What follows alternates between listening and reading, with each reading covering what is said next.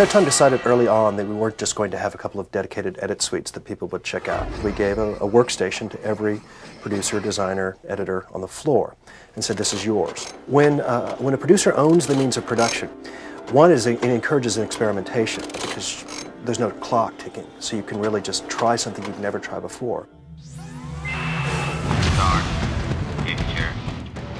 All the Adobe products that we use, After Effects, Premiere, Photoshop, and Illustrator, have a very similar interface and are interoperable. After Effects is a compositor uh, and a very, very detailed, precise compositor. A Premiere is an editor uh, with compositing attributes to it.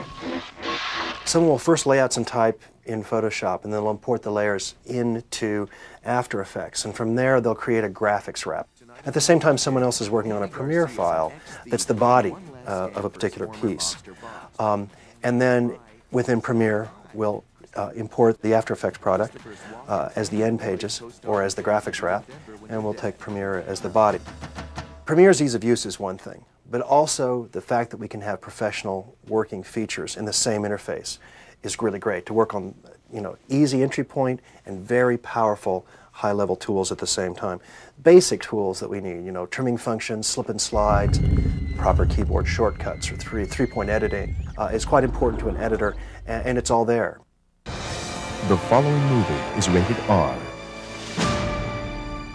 It's so much more valuable to be able to see the material, click it, move it, adjust it right in front of you. The cost savings for us is quite dramatic, particularly for, in working with Premiere, which is by far the most cost-effective editing package that is out there. It's not just about saving the money. We can also do things faster, cheaper, and actually more empowered. The fact of the matter is we produced five networks, 365, 24-7, and we could not do it without the Adobe product suite.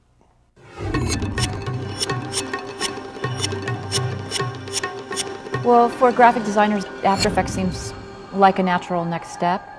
They've, you're familiar already, most of us are with Adobe Illustrator and Adobe Photoshop, and it's, you, once you learn how to use those things, it, it seems natural to, to want to make them move, and it's easy to do that. I'm addicted to it now. I can't imagine not doing things that move. A lot of the filters and even the transfer modes work basically the way the Photoshop filters and um, layers work.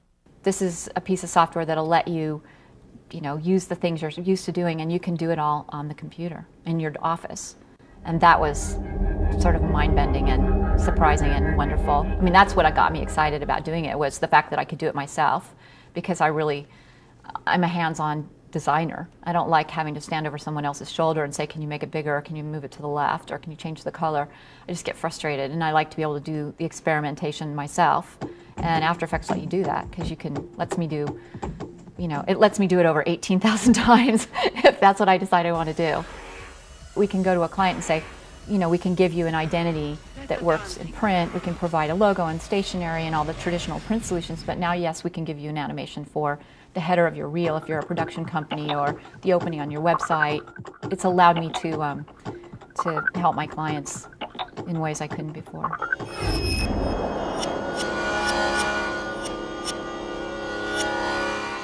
My training at, at Art Center has been in traditional graphic design and packaging. So I heard about this After Effects class and being able to animate and bring your 2D kind of print uh, designs to life. And I think that class has had a profound effect on what I do because I was introduced to this way of working that was just so fascinating for me. Blind was started with very little money. After Effects allowed three people that were great friends from school to have a company and to work uh, for ourselves, and it actually allowed us to work on very high-end projects with the kind of equipment that we have. K2 was a, a rare project for us.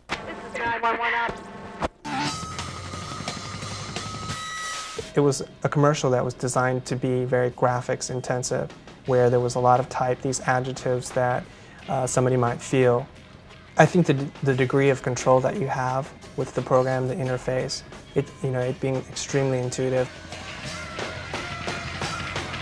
There's a lot of precision if I want to slow an object down. I have a lot of control using adjusting the curves and uh, the keyframes. One of the great features of After Effects is the ability to, while you're working on a comp, to open up that particular file and, and open it up in Illustrator or Photoshop, make a minor adjustment to it, and then it automatically saves the changes, re-imports it into After Effects. I think that's a huge, huge time-saving feature. Having After Effects is it's at the core of our business. Without it, we probably would not be able to work as in the capacity that we do as, as independent as an independent company.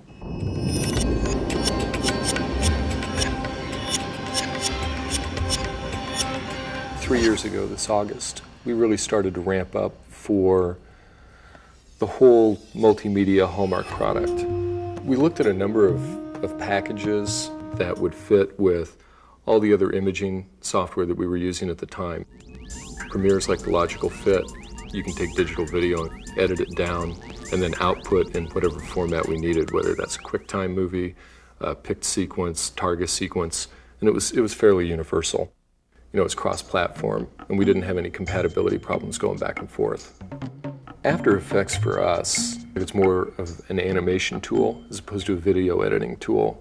The thing that blew me away about After Effects was the fact that it just opened up this whole new world of possibilities. It was like you saw how you could take existing product that we were doing at Hallmark and just develop this whole new category with it.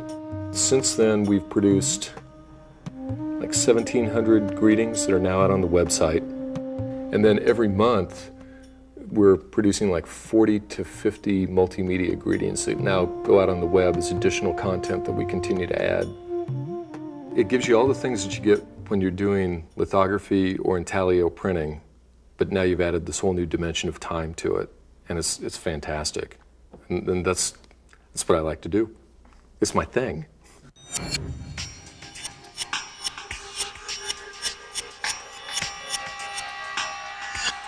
Second Story is a design firm that my partner and I formed. We specialize in website design.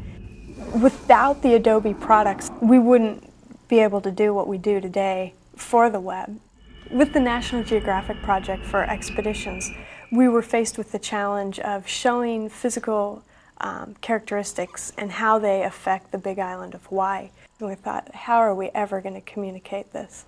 And after um, doing some sketches and comps in Photoshop, we realized that we could build certain uh, vector files, like the arrows, for example, in the wind, in Illustrator, bring those into Photoshop, create a sequence, and we could then import that into After Effects, and we could animate the arrows within After Effects. We could create masks and uh, motion paths and track the wind cycle and the arrows coming in and how they would break apart.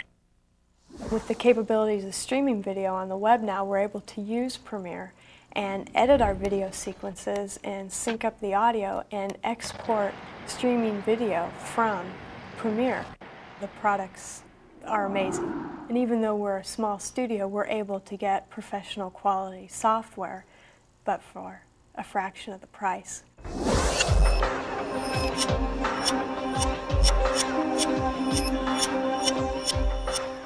At Digital Domain, I have a variety of tools to use, uh, to, to choose from when it comes to pre-visualization. It just makes a lot of sense for me to, to use Premiere. It's a cost-effective way and also a, a way to be very spontaneous uh, when you're being creative.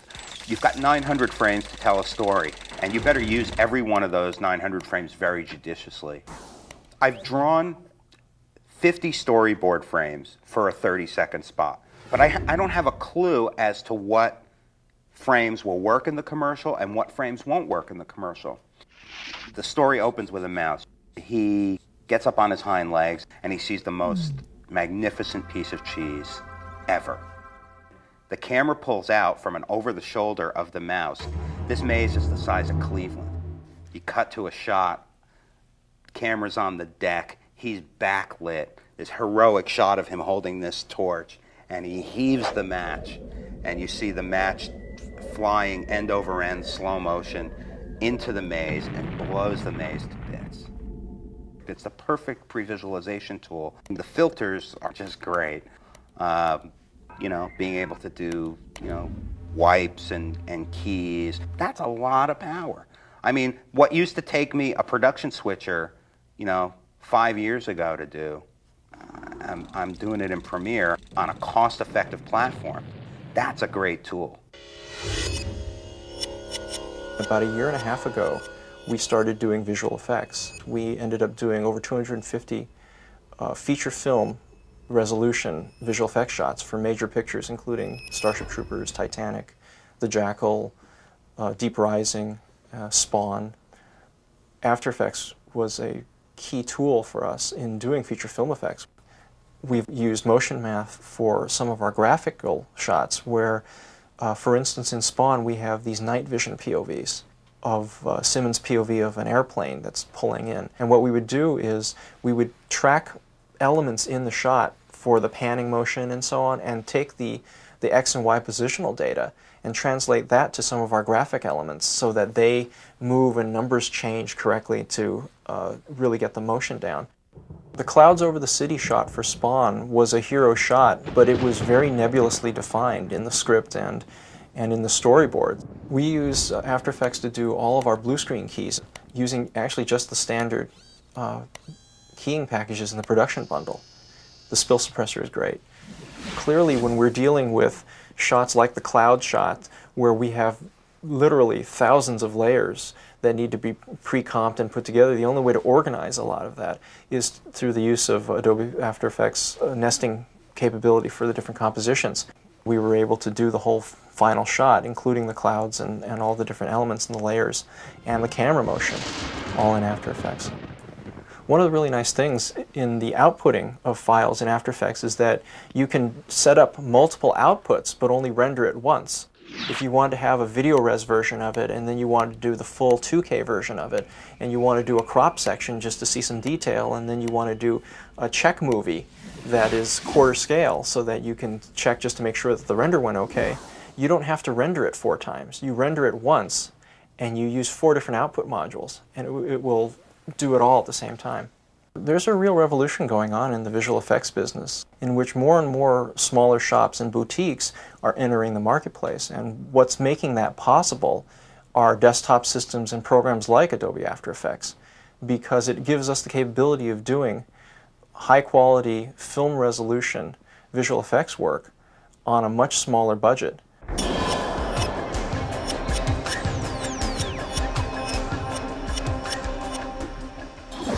Belief is a broadcast design studio. We do commercials, network IDs, feature leads, promos, image campaigns, anything, how we quantify it is anything with type that moves. We look at ourselves as a design studio, not an effects house. So there's two different mindsets when you're using After Effects, you know, thought. schools of thought. There's like the effects mindset and then like a design mindset. The nice thing about After Effects is that you can bring in, let's say, an Illustrator file and it's you know you can scale into that A all the way till it's just the triangle of the A and use that as a matte for you the have screen. no rasterizing. And it's just perfectly smooth. It allows you so much versatility now with type and how you want to handle type and how you want to uh, change the baseline, change the kerning, change whatever with the type. It's very flexible, very powerful. And the idea that you can bring in a Photoshop comp in and all the layers are separate is brilliant take a huge Photoshop file that's, you know, a 3K file and, you know, do a pan across it, you know? It's like you don't have to like create a loopable element or, or film a pan of something. You can just take a digital file and just pan across it because it can support huge files. Creativity comes at all times of the night. So, you know, you may get an idea in the middle of the night and want to go in and start working on it. You know, with After Effects, it's your tool, it's on your desktop, you can do that. And here you don't have to worry about anything. It all works with each other. And you digitize in Premiere, you create in Illustrator, then you bring in Photoshop, you paint in Photoshop, you bring it all in After Effects, and you, you do the image, you make it all beautiful, and bring it out through Premiere. And it's like, it's a package. The whole thing works. I mean, that's, that's the key with After Effects and, and all the Adobe products is they work. And there's nothing quite like that. You know, it's just the fact that it just works every time. It's stable you know, it's reliable and you can get work done.